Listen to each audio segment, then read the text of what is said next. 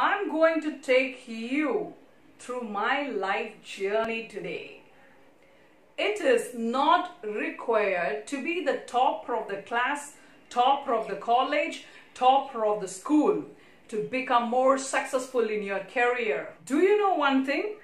I carry neither destination nor dream. Then how did I become the founder of Possible English Institution and the inspirational speaker? Rejections and failures pushed me towards the unseen goal of my career. I could not afford to pay fee when I was studying 10th standard. My life journey is from absolute obscurity to heights of fame. My life journey is one of rags to riches. I starved for food many days. For your surprise, I won a cash award in singing contest.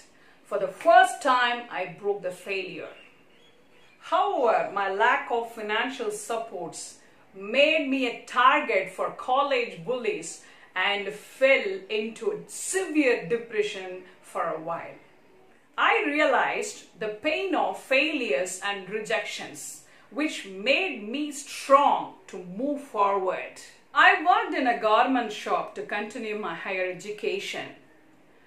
Pain, failure, and rejections pushed me towards the accomplishment on FB with 48,000 followers within two and a half years. From that moment onwards, I started to realize my inspirational speech would inspire many.